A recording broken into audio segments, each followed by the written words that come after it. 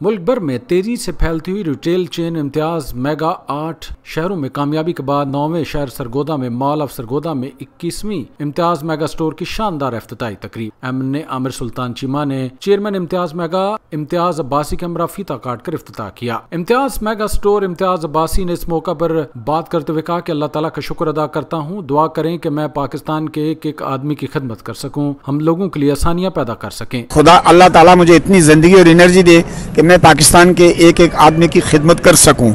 हम उनके लिए आसानियाँ पैदा कर सकें। उनके घर में जो मखलूक है, जो उनकी फैमिलीज़ हैं, उनके लिए आसानियाँ पैदा करें।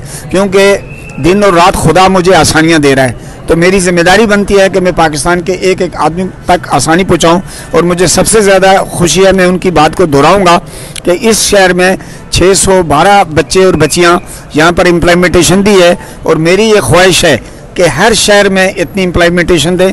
आई कैन बिलीव कि मैं पैसे कमाने के लिए नहीं आया हूँ और ना हमें ज़रूरत थी। ये मामला तो मेरा 40 साल पहले ख़त्म हो चुका था पैसों का।